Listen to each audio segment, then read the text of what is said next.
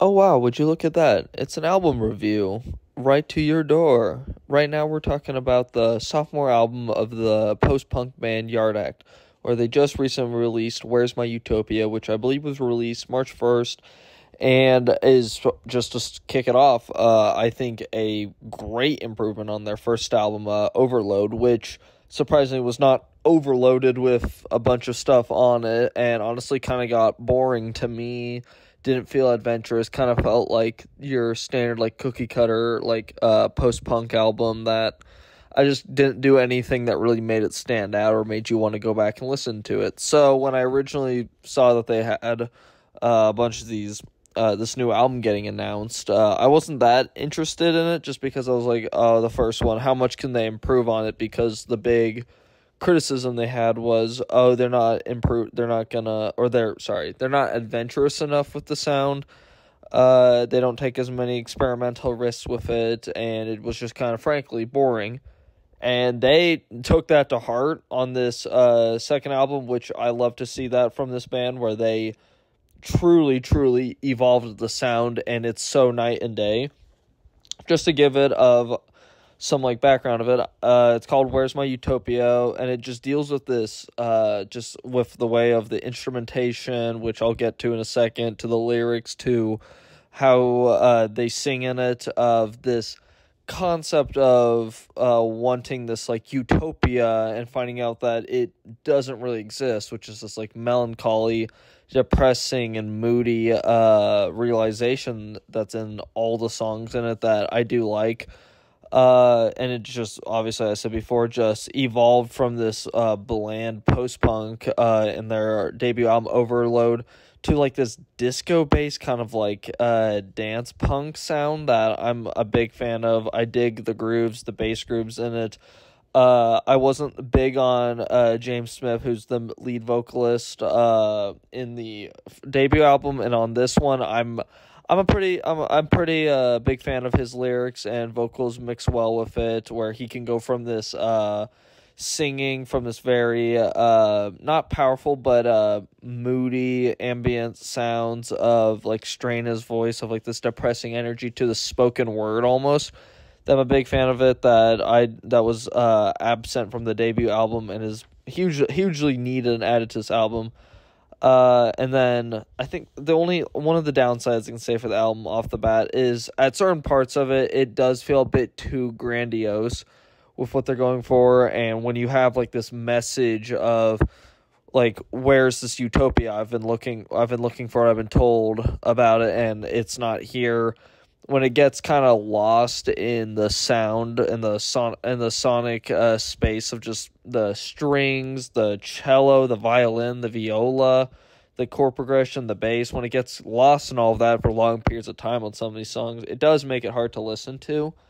Which is which was something that I did notice of it, which does suck for it, but I do think the instrumentation that they used in it, as I said before, the violin, viola, cello, the strings. They also had flute and saxophone, which I didn't mention before, but those are in there. Uh, obviously, bass grooves really ring out in songs like uh, "Down by the Stream." That one just has some really good bass grooves that are amplified by uh, James Smith's like the spoken word he does. I said before. Uh, and they are they the this album they were pretty self aware at certain parts. Like their one of their singles, "We Make Hits," is so self aware about the commercial popularity right now of post punk. It's super funny to talk about getting signed by like a, I believe a univer- one of the Universal uh, record labels. Uh, and it's it's very entertaining and made it a pretty fun song to listen to. Uh, the start the starting song, uh, illusion, uh, has these like soft vocals of like this pain and strain that I was kind of mentioning before. And the latter half it starts it sets the stage of like this realization of there is like no utopia this like bitterness of it that there might not be anything out there. And it's very depressing and haunting at points but it, it just works very well. Uh, and then the other one of the other highlights I can say for it is the undertow uh, the song the string progression on it amazing the layered vocals between and throughout this album they have these uh, new singers come in for uh, certain tracks which i dig because it just changes and makes each song pretty unique on it. This choir sound that they used on The Undertow and some other songs on there, but on this one, I liked it the best. Just amazing. Strings, obviously, 10 out of 10. Cannot praise that enough of the sound and how much improvement they did to it uh, from the first album to the second one, which I think after the first album, they didn't need to do a lot more to make it better, which I think, which is impressive of what they're able to do because obviously i w- I've, I've said it before now, but I was not the biggest fan of uh, the Overload. But this album, I maybe would have rated it like a, a three or a four, honestly. It just was boring to me. It didn't stand out. And on this album, I have to rate it an eight.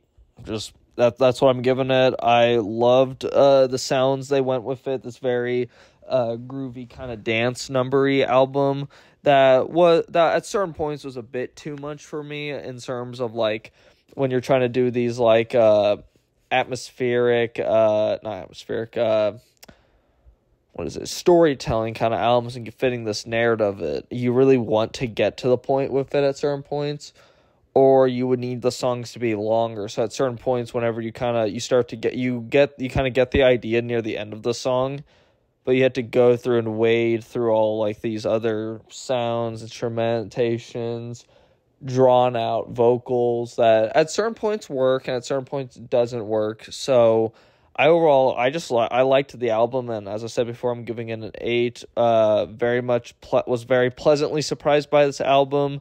I enjoyed it a lot, and it's currently have been is a highlight already for March, and I think is one of the best albums that will come out from March. But we'll just have to let time tell. But uh, anyways, that was "Where's My Utopia" by Yard Act. Uh, I'll see you all later.